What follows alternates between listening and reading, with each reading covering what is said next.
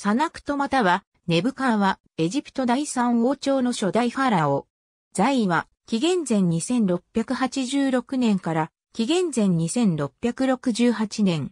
サナクトは、ホルスナであり、エジプト第二王朝の前王、カセケムイ、その前の王セトペルイブセンと異なり、名前にセト名が入っていない。出自は不明。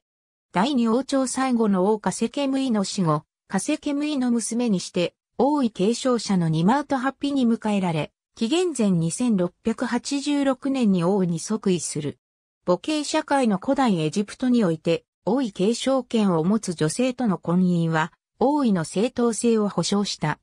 サナクトの統治は18年間に及んだが、その統治について示す資料はほとんど発見されていない。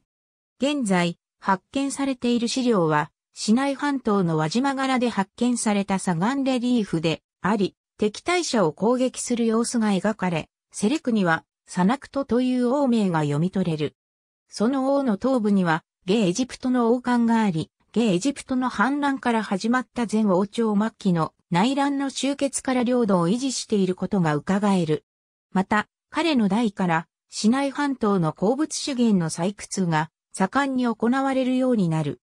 中でもトルコ石、銅といった資源はエジプトに富をもたらし、時代のジェセルによる勢力の拡大と階段ピラミッドなどの巨大建築物の建設を助けた。ありがとうございます。